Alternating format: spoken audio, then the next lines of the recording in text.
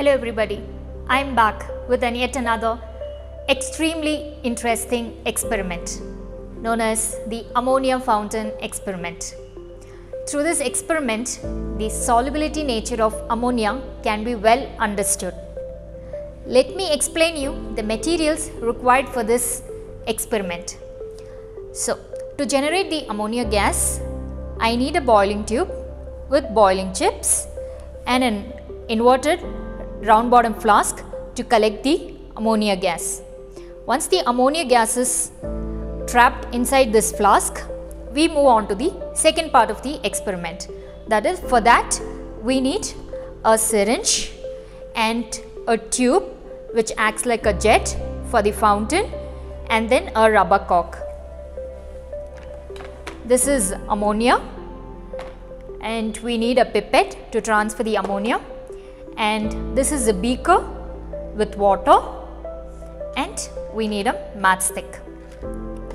So to begin, so initially I will transfer some amount of ammonia into this boiling tube and gently heat it till I get a sufficient amount of ammonia into this round bottom flask.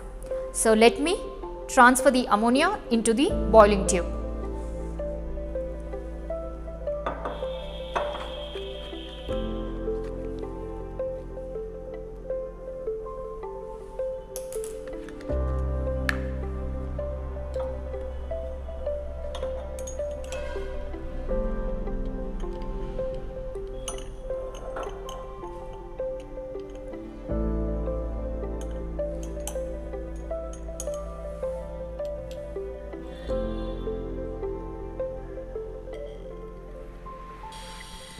So let me gently heat this ammonia.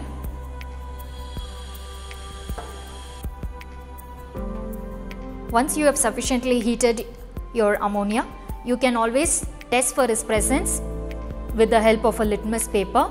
So when you bring it near, if it turns into blue, it shows that sufficient amount of ammonia is present in the flask. Once it is done, we close it with a cork. So after testing, when we have concluded that sufficient amount of ammonia is present in the flask, we close the flask with a rubber cork and then keep this aside.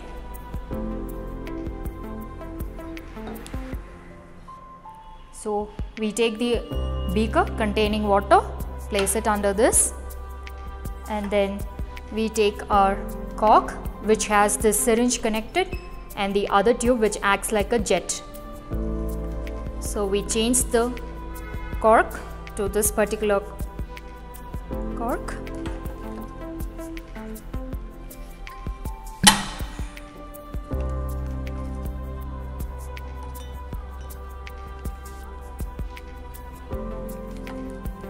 and place this tube inside the water.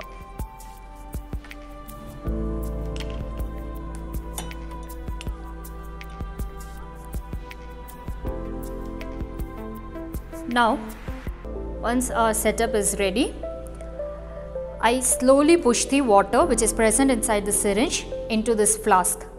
It so happens that once I push this water, whatever ammonia gas that is present inside this flask, it will dissolve in the water which I injected into the flask and then due to that the pressure inside the flask will decrease when compared to the atmospheric pressure which in turn leads to the suction of water into this flask. So I will show it to you now. So I am going to slowly push the water inside.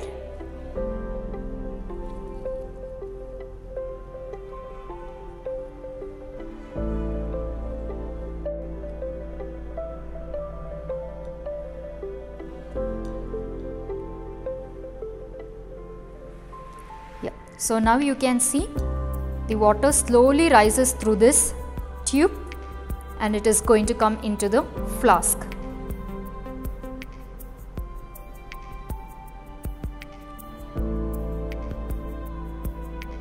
As more and more ammonia gets dissolved into the flask, the pressure difference is created which in turn leads to the rising of water from the beaker into the flask.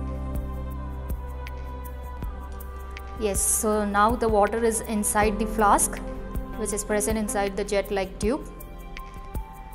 Yes, it's almost at the tip. Yes, it is reached to the top and you can see a beautiful fountain that's coming up and the water has changed from colorless to pink in color. Do you all know the reason behind it? It looks amazing, right? Yes. So you all can see this part where the water is flowing down. Yes. Through this, what do we understand? It is because the ammonia that was present inside the flask is getting dissolved in the water that was present initially, which leads to a pressure difference and the water from the beaker is pulled up. I hope all of you all would have enjoyed this experiment. Before concluding, I have two questions to you all. Why did I keep this RB inverted to collect the ammonia gas? The second question, what component did I add into this beaker which made the water turn into pink when it reached this flask?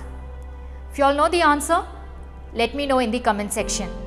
We are making these videos so that science learning can be fun and enjoyable. If you like our videos, please subscribe and don't forget to press on the bell icon so that you can keep getting the updates about our latest videos and experiments.